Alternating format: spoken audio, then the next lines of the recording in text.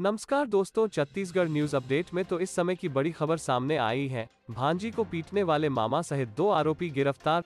दंतेवाड़ा ज़िले में मामूली विवाद पर मामा और उसके परिवार के सदस्यों की ओर से गर्भवती भांजी और बहन की बेरहमी से पिटाई करने के मामले में पुलिस ने दो लोगों को गिरफ़्तार किया है।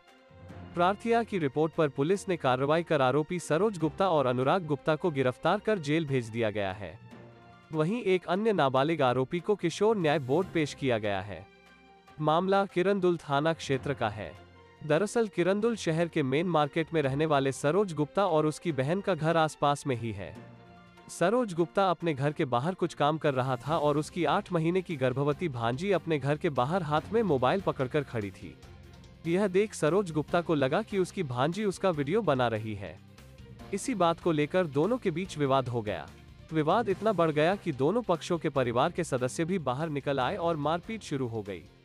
सरोज ने पहले अपनी गर्भवती भांजी का बाल पकड़कर ज़मीन पर पटका, फिर घसीटने लगा। बीच बचाव करने सरोज की बहन गर्भवती की माँ आई तो उसे भी बुरी तरह मारा। इतना ही नहीं, फिर घर से डंडा लेकर आया और दोनों की पिटाई शुरू कर दी। पत्थर से भी उन्हें मारा। इस दौरान सरोज गुप्ता के परिवार के सदस्य भी पिटाई में उसका साथ दे रहे थे। वहीं झगड़ा देख मौके पर लोगों की भीड़ लग गई, लेकिन किसी ने मामला शांत करवाने की कोशिश नहीं की।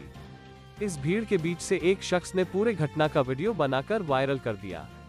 वीडियो वायरल होने के बाद पुलिस हरकत में आई और मामले में दो आरोपियों को गिरफ़्तार किया है।